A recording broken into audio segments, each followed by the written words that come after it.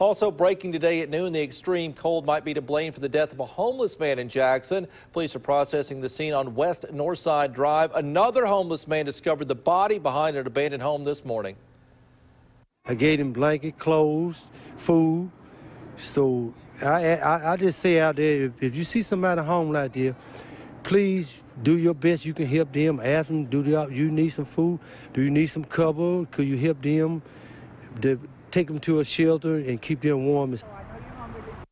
Shelters were open here in the Jackson area overnight. Investigators do not suspect foul play, and they're not yet releasing the name of the deceased. Stay with WJTV 12 on air and online as more details come to light.